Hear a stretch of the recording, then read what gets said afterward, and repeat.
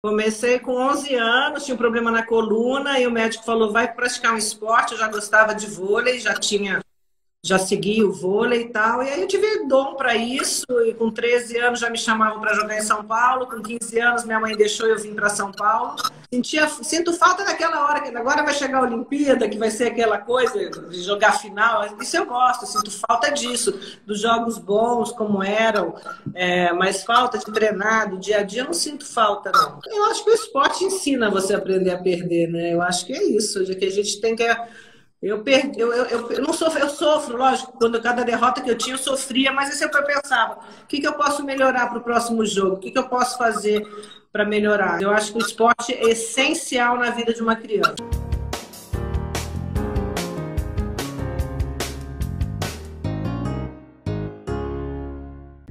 Estou aqui para conversar com Fernanda Venturini, que acabou de acenar aqui. Muito bom. Tudo bem? Tudo, e você? Tudo bem. Tá Estava aqui lendo bem? sobre você e ah, vendo ah, é? seu, seu Instagram. Ah. E você se apaixonou de novo, é isso?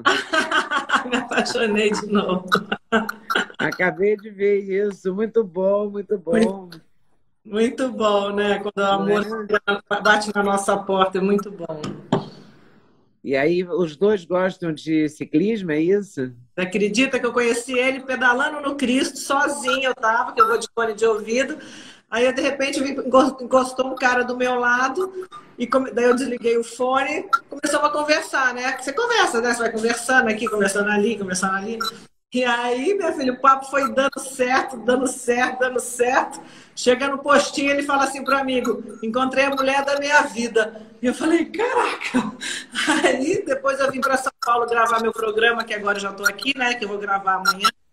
E aí ele, enfim, aí que eu me conheci e tal, e estamos juntos já. Muito legal, fizemos um mês agora. E você ficou casada há anos, né? 20, quase 25, é, 23 anos mais ou menos. É muito tempo, né? Muito tempo. Duas filhas, eu olhei também, muito bonitas, né? Elas. São lindas, uma de 11 e uma de 19. Uma mulher já, né? E uma de 11, a Vitória. Olha só. Leda, te acompanho desde 1990.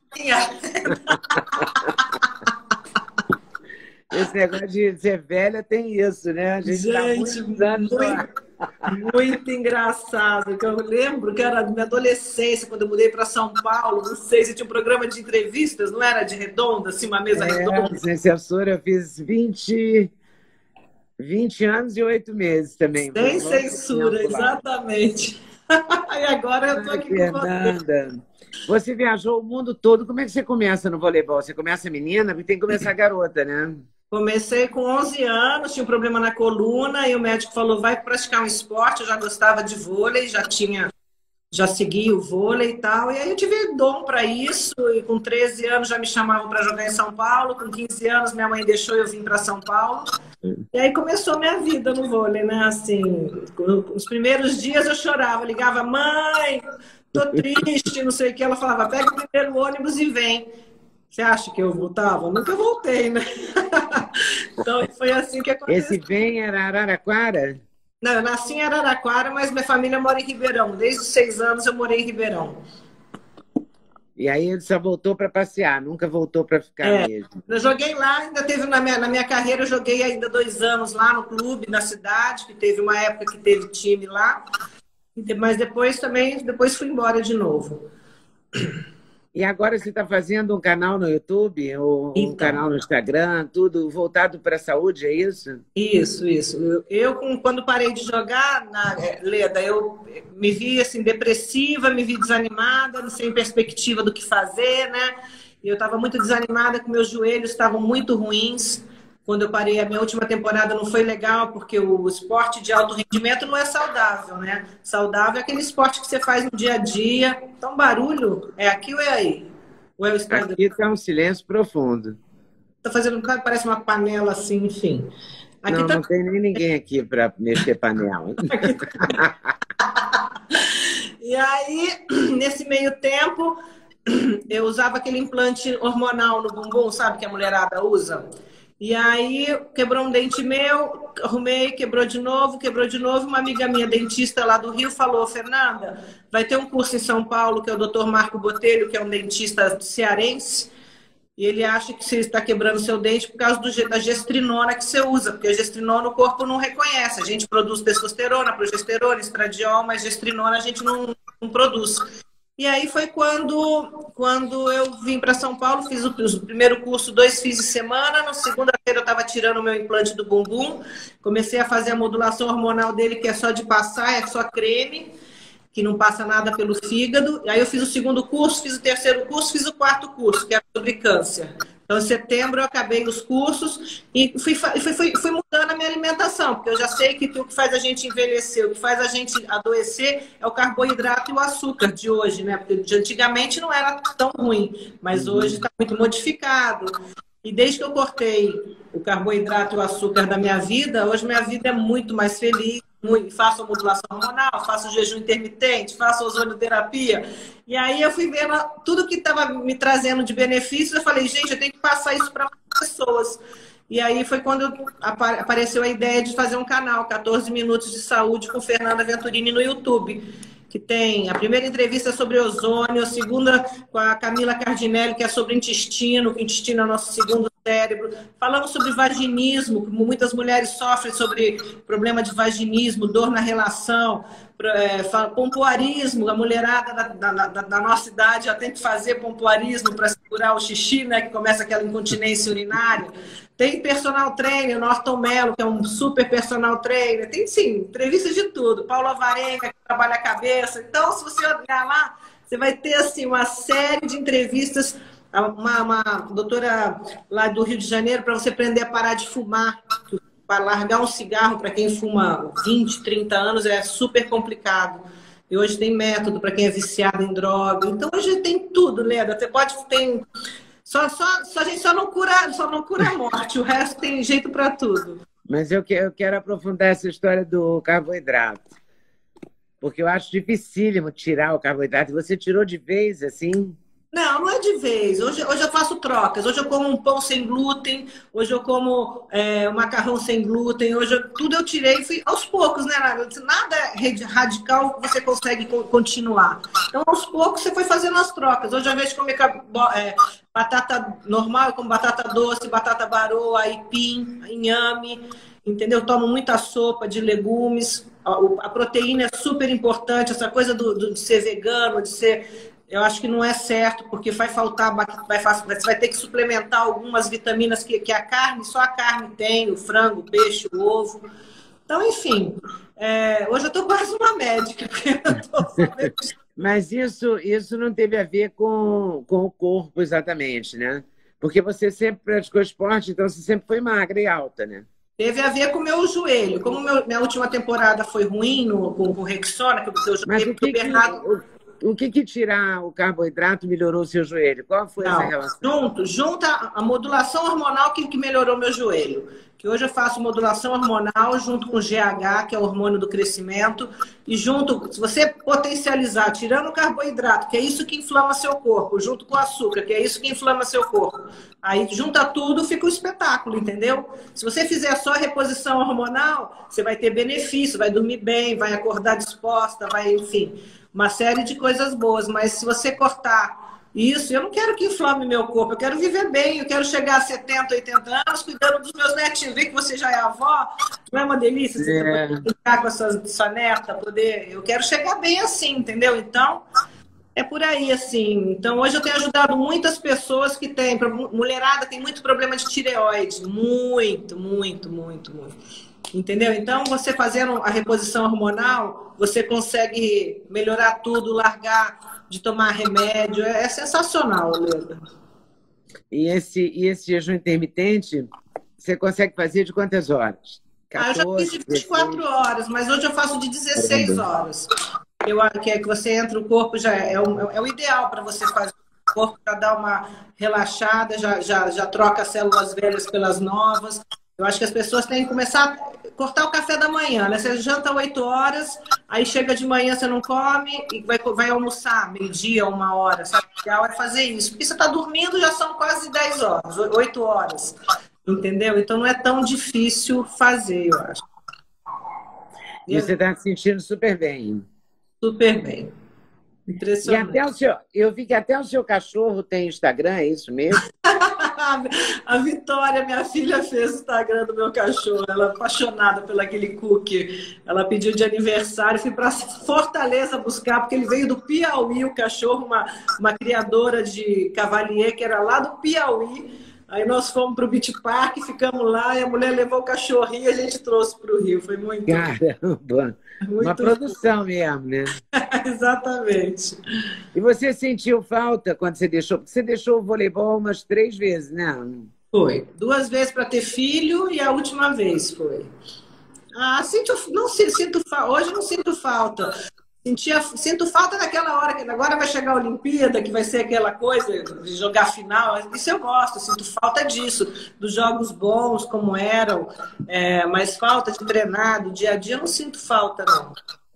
Mas também você treina todo dia. Você anda de. Como é que você faz com o seu ciclismo? Todo dia você pratica? Não, todo dia não. Hoje eu pratiquei ciclismo, amanhã eu vou fazer musculação. Aí eu vou variando, né? Se eu estou no Rio, eu jogo, jogo faço stand-up, jogo frescobol. Cada hora eu vou fazendo um esporte. O é importante é se exercitar. O problema é não ficar parada, né? Porque o Covid está aí e tá triste, né? Morrendo muita gente, infelizmente. E você já teve, não? Não, não tive. Nem se vacinou, né? Porque Nem me vacinei, não, não sei se eu vou vacinar. Eu vou ter que vacinar um dia, porque quando viajar para os países vai ter que ter a vacina. Todos os médicos que eu converso, assim, muitos não vão vacinar. É, enfim. Mas, enfim, acho que uma hora eu vou vacinar. Mas hoje eu não, vou, não, não, não, irei, não irei vacinar. Mas no futuro acho que sim. E aí, você, você sofreu muito com o final do seu casamento? Não, foi uma coisa super tranquila, tanto é que a gente é amigo até hoje, a gente saiu super bem, porque era uma, foi, uma, um desgaste do casamento, muito tempo junto, né? E foi bem conversado, não foi, não teve traição, não teve nada de errado. Então hoje a gente se dá super bem, a gente se fala quase todo dia, eu continuo ajudando ele, ele me ajuda quando eu preciso. Então, assim, acho que é a melhor coisa, acho que todos os casamentos deviam acabar assim, né? Para o bem dos filhos, né? É verdade. Mas ele é muito. Porque a gente tem uma impressão do Bernardinho muito brava, né? Eu morro de medo dele. eu nem quero encontrar, eu olho de longe, assim. Não. Eu acho que ele é bravo demais. É um lorde, não é? Não tem nada de bravo. É, ele agora já está mansinho, né? Ele era bravo na nossa época, lá com Cuba, naquela época ele era muito bravo. Aí ele foi melhorando, passou pelo masculino, aí depois as coisas foram melhorando. E você, quando você é, treinou, jogou, tendo ele como técnico, ele foi muito bravo? Não, ele assim, eu treinava mais do que o normal. Como o Bruno também treinava mais do que o normal. Mas eu acho que é tipo assim, ele era. ficava de mau humor, né? Perdia um jogo, ficava com aquele bico assim, né? Não falava com ninguém e tal. Dava dois dias, voltava a falar, mas no começo era chato, porque ele não... até ele assimilar a derrota demorava uns dois dias. E mesmo assim, tu foi casar com ele, né? Sabendo desse bicão, né? Não, foi, depois foi melhorando. Só na hora de. Quem não sabe perder, né? Aquela pessoa que quer ganhar sempre, né? Obcecado pela vitória, mas deu tudo certo. Isso é do esporte ou você aprendeu a perder?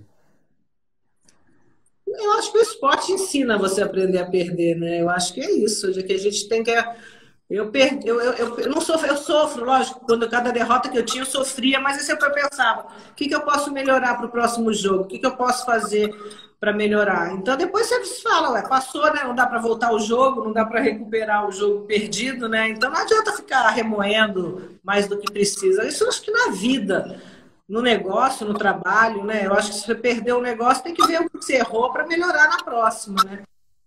E como mãe, como é que você é? Crio meus filhos, minhas filhas para o mundo. Sempre criei. Nunca fui assim aquela mãe. Eu fui soltando a rédea, né, aos poucos. A Júlia de cinco anos, desde os cinco anos que ela viaja sozinha. Ela bota aquele negocinho, já viajava, tem duas filhas, uma de escorpião e uma de sagitariano, são do mundo, né? Então elas são bem, bem independentes, como eu fui. Eu queria que elas fossem como eu fui. Porque, lógico, você vai dando a corda, a criança vai respondendo bem, você vai soltando, vai soltando. Então, sabe viajar sozinha, sabe se virar sozinha, já é uma mulher. Qual que é a sagitariana? É a menor? Não, a, a, a, a maior. E como é que é uma sagitariana? Eu tenho uma Sagitário... neta de Sagitário, por isso que eu estou ah, curiosa. É? é, eu me lembro quando ela nasceu, uma astróloga me disse: ah, ela vai colocar a mochila nas costas, vai dar tchau e você vai ver. Não vai ver mais, vai levar um tempão. Então. É assim Exatamente. mesmo? É assim mesmo, é do mundo, não é? Não tenta amarrar o sagitariano que ele pega e sai de casa. É uma coisa assim, sabe? Tem que deixar, vai soltando a, cordinha dela, vai dando, vai dando autoridade para ela, até para não criar criança super insegura, não criar uma criança dependente dos pais, criar uma criança para a vida, né? Para brigar na vida. Então eu acho assim, a Júlia é muito isso. Ela desde, ela é aquela que assim, chegava com 10 anos falava, mãe, eu quero fazer um intercâmbio na sei lá onde. Ela foi para Londres, foi para os Estados Unidos. Então ela chegava e falava, mãe, tem que pagar isso, isso, isso. Eu pagava, ela ia. Fez intercâmbio para Los Angeles com 14 anos. Ia. Então, assim, é, eu acho que é, é, muito da mãe também, né? Você ela sentir confiança na mãe. Então, a hora que precisava, eu estava aqui mas nunca me deram problema, sempre estudaram sozinhas, sabe? Assim, são bem. bem... E você não sofria dela ir embora tão cedo, não? Não, não. Eu, eu não sei, eu, as minhas amigas falam, você é louca, você larga suas filhas, não sei o quê, nananana. gente, nada, filha é para o mundo, né? A gente queria filho para gente, para ficar embaixo da asa. Eu queria mais que elas fossem assim mesmo, para pudessem resolver a vida delas, cada uma resolve a sua vinha. A Vitória também já tem 11 anos, com 9 anos foi para Londres no intercâmbio e aí chorava, igual eu. Quando mudei para São Paulo, chorava os dois primeiros dias. Ela também, mãe, falava para a professora me ligar à noite, mas também daí, passa, passa. E depois não queria mais voltar. Então, assim, eu acho que a gente tem que deixar viver, vivenciar essa experiência, sabe? Eu acho que é muito importante dar dá para que eles vivenciem tudo isso, porque vai fazer falta lá na frente, vai, vai fortalecer elas como mulheres, entendeu? Vai, vão, ter, vão ter consciência do que é certo, do que é errado. É muito bom. Acho que eu, eu sou a favor de criar os filhos para o mundo e não para a gente. E você, quando você saiu de casa, não, é, isso foi um tempão atrás. É diferente de hoje, né, também. Você, você veio de Ribeirão Preto para São Paulo para morar sozinha e Isso. jogar vôlei? Isso. Morava com a Fátima de Ribeirão e a Simone Storm de Brusque. Então morávamos nós três em Santa Cecília. E aí a gente treinava no clube e tal, aí à noite ia dormir. Então, assim, as três chegaram juntas em São Paulo e depois cada uma foi para um lado. Mas, assim, é outra, outra época, mas hoje, que nem eu vejo, hoje é muito mais liberal. Hoje está tudo muito liberal, né? Hoje o mundo está muito com essa coisa de mídia social né, outro mundo, né? Na minha época não tinha telefone, você tinha que ir no orelhão ligar para a mãe, né? Mas hoje você vê que você fala FaceTime com o filho, você não tem nem sente saudade, porque toda hora tá falando. E você, você lida bem com as redes sociais, né? Lido, sim. Lido. Depois eu demorei para entrar né, no, no Instagram. Depois que eu entrei, eu, eu fico feliz porque hoje, que nem eu, eu tenho muitos fãs do vôlei, né? Porque hoje, assim, hoje a gente tem contato com os fãs que nos acompanharam lá atrás, 20, 30 anos atrás. Então é muito legal. Hoje eu vou fazer 51 anos em outubro. Eu já vou fazer uma festa para os meus fãs. Do mundo inteiro vai vir gente, né? Então, assim. É... Ó, teve um fã seu que me mandou uma camisa. Olha o que, que ele tem. Olha isso. Quem é ele? O Kiko de Tietê, ele tem uma. Ele vai estar na sessão, ele é, acho que ele é presidente da Câmara. Isso! Ele vai estar na sessão. Mas ele disse: sou fã da Fernanda. Ele falou. E mandou a camisa, achei hilário isso, né? Ele, ele mandou, ele falou assim: vou estar trabalhando, mas eu vou ver a live, não sei o que, nananá. É muito tem louco. Fãs, né? Tem gente que tem coisas que nem eu sabia que eu tinha. Tem, assim, é incrível, incrível. Então, assim, e hoje, como eu estou com essa área da saúde, é tão legal quando uma pessoa me manda assim, emagreci 30 quilos já depois que eu comecei a te seguir, emagreci 20 quilos quando eu comecei a te seguir. Então eu falei, opa, tudo que eu estou falando, vezes as pessoas estão seguindo, está dando certo, entendeu? Então aí foi mais um, um sinal para me fazer meu canal porque tem muita gente acompanhando. E aí você, você escolhe como? Você escolhe um médico por semana? Como é que você trabalha esse é, canal? É, então, eu comecei, eu vou vendo, eu vou acompanhando no Instagram, vou vendo as pessoas que seguem essa linha de não tomar remédio, de, de fazer as coisas naturais. Aí eu vou, vou acompanhando. Hoje eu tenho uma assessora de imprensa que me ajuda também. Vê, Fernanda, dá uma olhada. Ela me manda o Instagram do cara, eu vou olhar lá para ver o que, que, ele, como é que ele, que, que ele faz, o que, que ele não faz. Aí eu falo, não, pode, pode chamar esse, pode chamar aquele. E a gente vai agora, amanhã eu vou, eu entro em estúdio, que tenho um estúdiozinho aqui na Marginal Pinheiros, ali atrás onde que é o Madeiro Sanduicheria, que é o container, o doutor é, Juliano, que é da, sobre ozonioterapia, que é a primeira entrevista do meu canal. A gente ficou super amiga, ele tem um, um espaço lá, ele cedeu para fazer o meu estúdiozinho. Então, a, aí a gente marca, meio-dia, um, uma hora, outra, duas horas, outra, três horas, outra. Então, a gente grava várias entrevistas quando eu venho para São Paulo. Ah, então você grava aqui em São Paulo mais do que no Rio. É, já, daí depois ele vai para o Rio, a gente grava uma leva lá. Depois vem para cá, grava uma leva aqui. De futuramente eu quero ir, porque eu tenho Vitória, tem vários médicos que eu quero, tem, tem em todo lugar, né? Então a gente vai acompanhando e vai, um, às vezes um entrevistado indica outro. Então é legal que são médicos sair dessa coisa da farmácia. Você tem que parar de ir na farmácia, você tem que ir pro supermercado, parar de ir no supermercado, você tem que ir para a feira. Você, você, tem que descascar mais do que desembrulhar, desembrulhar menos. É meio que isso, né? Então tem uma leva. Hoje, hoje tem muita gente que segue tem. isso. Tem uma multidão. Multidão. Tem uma que multidão bom, né? que dá entrevista sobre isso. Né? Exatamente. É bom que é menos gente doente, né? Se as pessoas seguirem, né? Tentarem mudar alguma coisa, algum hábito ruim. Não é fácil, mas tem que ter força de vontade. E você já teve algum hábito ruim? Hábito ruim na minha vida? Não, eu já tive, já tomei muito refrigerante, já tomei muito H2O, que eu sei que não faz bem, já tive muito assim, nesse sentido, né? Mas é, pode ter certeza Mas que. O pior eu... hábito que você já teve foi tomar H2O? Não, foi, eu nunca fumei, beber, eu bebo socialmente, nunca tive nada assim que fosse ou um vício louco, que eu não conseguisse parar de comer alguma coisa. Nunca tive, não, graças a Deus. E você teve problema com peso a vida inteira ou nunca teve? Nunca tive, nunca tive. Teve, teve épocas que eu estava mais magrinha, teve épocas que eu estava mais gordinha. Agora eu estou mais magra do que na época do que eu, que eu jogava. Hoje eu estou mais forte do que na época que eu jogava. Então, assim. Você acha que está mais forte por quê? Por causa de musculação, essas coisas? Por causa, por causa do ciclismo, esporte. da bicicleta? E por causa do, da reposição hormonal, porque a reposição hormonal, que nem a gente repõe tudo que você tinha quando você tinha 20 anos, né? Então te dá disposição. Com disposição você tem mais força para malhar, você tem mais força para fazer bicicleta, tem mais força para viver, né? Pode-se dizer assim. Então, quando e você está é, é animado. rotina? Você faz todo dia bicicleta, todo dia. Que exercício você faz?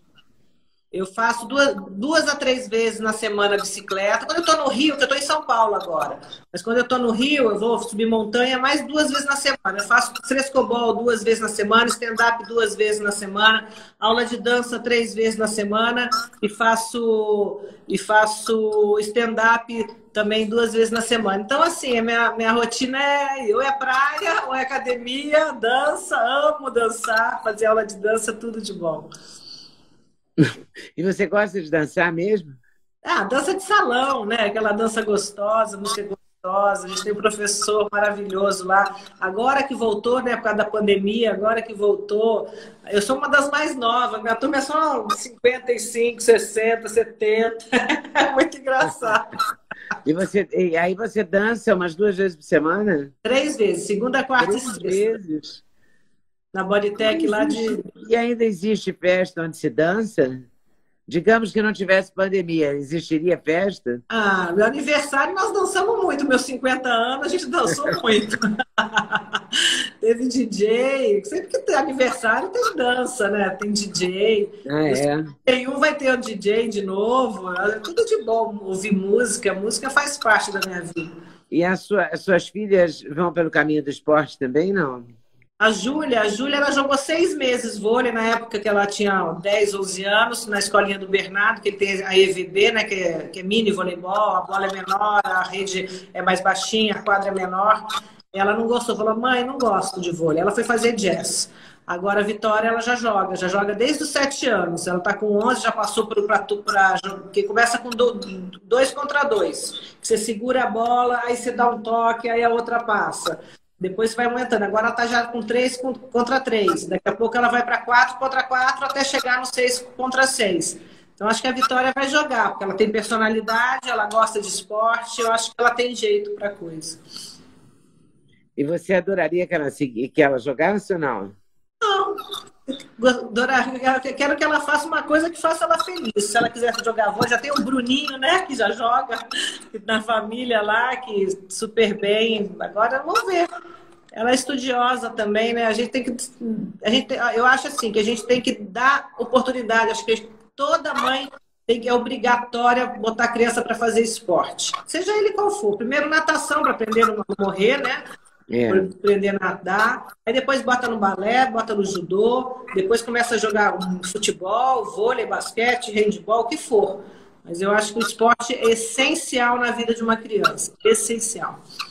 Você é, foi, você é madrasta do, do. Do Bruninho. E você, ele era pequenininho, né? Quando você. Seis anos ele tinha. Seis anos. Quanto? Seis. Três? Seis. Nossa. Ah, seis. Isso. Era um, era um garoto já, né? Garotinho, é. Aí tava na época que morava com a Vera, aí depois morou com o Bernardo uma época, depois eh, acabou que a gente foi para Curitiba, aí ele voltou a morar em Campinas, né? Jogou badminton, depois que ele entrou no vôlei, aí foi, que é a história que a gente conhece. É.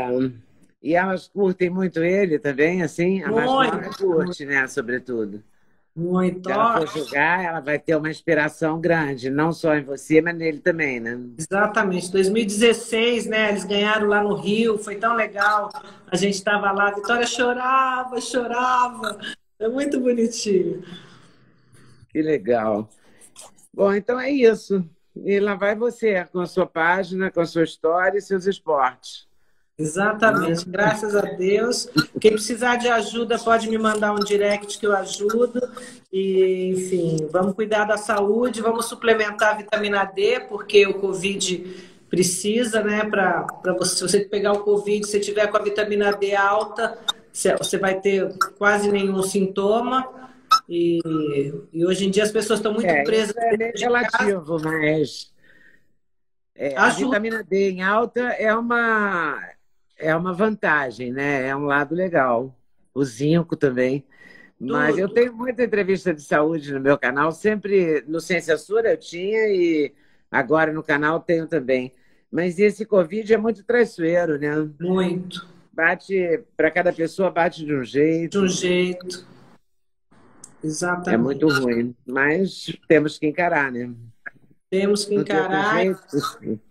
E se cuidar, não né? Porque hoje não basta ter dinheiro se você não tiver saúde. Não, é dinheiro não, não basta ter nada. Ele é implacável, né? Implacável, exatamente. Mas tudo bem, vamos lutar contra ele, nos fortalecendo. Exato. Você Vai pegou Covid, Eu peguei. Pegou, mas passou bem. Eu peguei brabo, fiquei no hospital e tal. Nossa. Por isso que eu tô te falando, minha vitamina D estava altíssima, entendeu? Como está ainda, mas Depende muito, né, de cada muito. pessoa, de cada história. Mas escapei, graças a Deus, e não, só fiquei no, no oxigênio, naquele né, caninho. Não, te, não teve intubação, né? Não foi uma coisa. Foi, foi pesado, mas não foi pesadérrimo. Que bom, né? Então é um alívio, né? Alívio, meu. Agora Deus. vamos ver. A gente nunca sabe, né? Se vai ter uma terceira onda, uma quarta, se vai ficar livre disso esse ano, ano que vem. Não sei. Você já vacinou, né? Eu não vacinei, porque. Não, não porque eu fiz aquele exame de, de, é, de anticorpos. E os meus anticorpos estavam muito bons. Porque ah. acho que dependendo da gravidade da doença, também é, fortalece. É uma coisa tão contraditória. É. Mas é o que o médico me explicou. É, eu estava muito bem, quer dizer, arriscar a vacina e arriscar uma overdose de neutralizante, entendeu? Então eu vou esperar, daqui a dois meses eu faço de novo o exame, aí vejo como é que estão os neutralizantes, aí, entendeu? Vai assim, devagar. Mas eu não teve, graças a Deus, não fiquei com sequela. E o olfato? O olfato voltou normal? Eu perdi, perdi o paladar, mais que o olfato. Mas perdi o olfato também. Mas foi voltando, voltando devagar. É tudo devagar. A pior coisa eu acho o cansaço. O cansaço que você sente depois do que você tem alta uhum. é muito doido. Foi a coisa mais doida que já me aconteceu, assim. Porque eu fiquei com um cansaço estranho, entendeu? Entendi. Eu nunca fui uma pessoa disposta a essa, você falar, ah, praticar esporte, então nunca eu gostei. Não gosto mesmo, não, não é a minha área, mas eu sempre fui uma pessoa muito de muita ação, de nunca ficar parada e tal.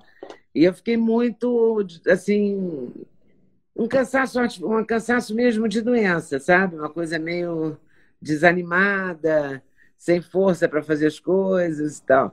Mas com o tempo também você vai levando, né? Vai mudando, cada dia é um dia, você também se preocupa, faz uma fisioterapia. Eu sempre gostei muito de fisioterapia, porque eu tenho dores no joelho e tal, por isso que eu perguntei muito do joelho.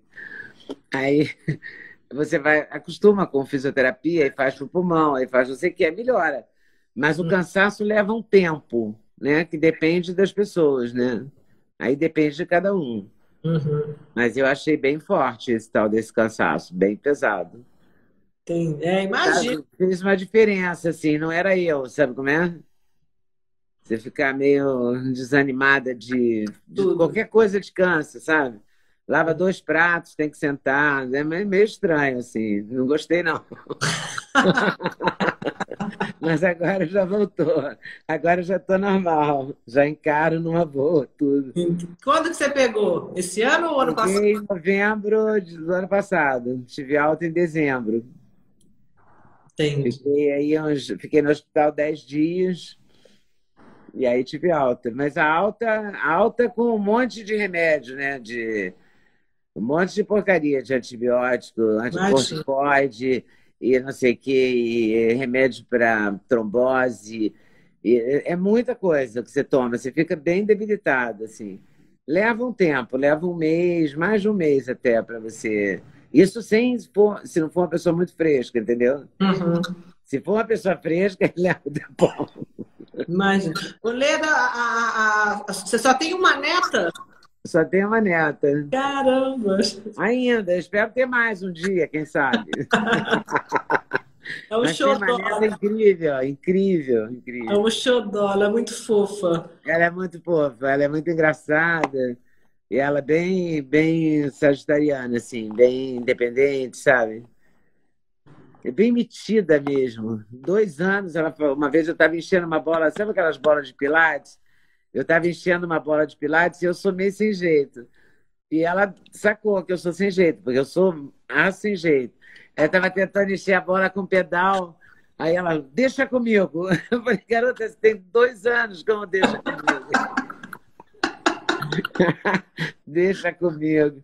Mas, mas daqui a pouco ela vai ser mais habilidosa que eu nessa, é. nessa parte. Exatamente. Bota ela... outra bola, vou chamá-la. Daqui a dois anos, pode deixar com ela mesmo. Mas é isso mesmo, Sagitário é isso mesmo. Vai, vai se metendo em tudo, acha que sabe tudo, é muito ela bom. acha que sabe tudo, tudo ela acha que pode fazer sozinha. É. E ela fala, estou fazendo sozinha. Né? Ela fala. Ela é bem metidinha. Ela é bem metidinha. E as crianças dessa, dessa essa nova geração parece é. que tá com um chip é, diferente. São muito mais rápidas, né? Nossa. Muito. Eu não lembro quando eu tinha dois anos, mas eu suponho que eu não chegava nem perto. Ela fala coisas e, e é debochada e, sabe, provocadora. É engraçado mesmo. É um estímulo incrível, sabe? Mexe é. com sua cabeça, com seu corpo, com tudo. Muito legal. É um barato, você vai ver. Daqui a pouco você vai ter, vai ver. É, minha filha começou a namorar já. É, mas acho que tem que esperar primeiro carreira, se está tá fazendo direito, né? Tem que se formar. Tem... Ela é, é tem, hoje em dia o tempo é outro também, né? É. não é, não tem que correr tanto. Você teve filho com que idade? 31 a Júlia e 39 com a Vitória. 39 anos. Mas é, também não era primir para mais, né? Aí é, a Vitória era, veio assim, na última, no último suspiro, falou, ah, vamos ter uma filha, né? Daí aí ia chamar, ia chamar Luísa, daí a gente falou, vamos chamar Vitória, né? Nossa vida foi tão vitoriosa, né? Em todos os sentidos, né? Vamos dar um nome para ela de Vitória. E aí ela foi Vitória, uma fofa também, uma, muito, tudo de bom, né? Filho, é muito bom. Filho é muito bom. Você tem um filho só? Eu tenho um filho. Entendi. É uma que maravilha. Bom. Adoro. Você São Paulo, né, Dudu? Eu estou morando aqui em São Paulo. Entendi. Por, um pouco por conta dele e um pouco por conta que o Rio também não tinha muito a oferecer mais, né? Perfeito. É. Chega uma hora que fica difícil, mas eu, eu adoro o Rio. É, tudo de é. bom. É tudo de bom mesmo. Mas o ideal é ficar dividindo entre o Rio e São Paulo. Esse é o ideal. É o ideal. É, a pandemia eu... me atrapalhou. A pandemia me atrapalhou bastante uhum. nesse sentido, né? Fiquei mais aqui do que lá, claro. Fiquei um ano sem lá, mas agora já estou retomando. Um pouco lá e um pouco cá. É, eu fico 15 dias lá quando eu tô com as meninas e 15 dias aqui, porque a Vitória, na separação, ela falou: mãe, não quero essa coisa de uma semana para cá, uma semana para lá. Faz 15 dias. 15 dias com meu pai, 15 dias com você. Eu falei, tá bom, né? ah, é? Com 10 anos ela falou isso. Falei, tá bom, e tá dando super certo, porque fica, né? Depois pega a criança pra cá, vai, depois vai pra lá. Fica, a criança fica igual um ioiô, né? 15 dias acho que é um tempo bom. Você quer viajar depois ou você quer viajar antes, né? Acho que dá, dá, dá para tudo, dá tudo certo. Estou gostando desse jeito que ela escolheu e. E, tá e ela mesma que escolheu? Ela que escolheu. E a outra? A outra, quando ela tem 19, ela já pode ir e voltar, ela vai para onde ela quiser. Mãe, vou dormir no Pedro, vou dormir no meu pai, vou dormir na minha mãe, vou dormir. Ela faz, faz e acontece. Essa já foi. Né? Essa já foi. Tá certo, Fernanda. Um abração para você. Tá Muito bom. obrigada. Obrigada. Boa sorte aí. Tudo de bom. Beijão. Tchau. Tchau.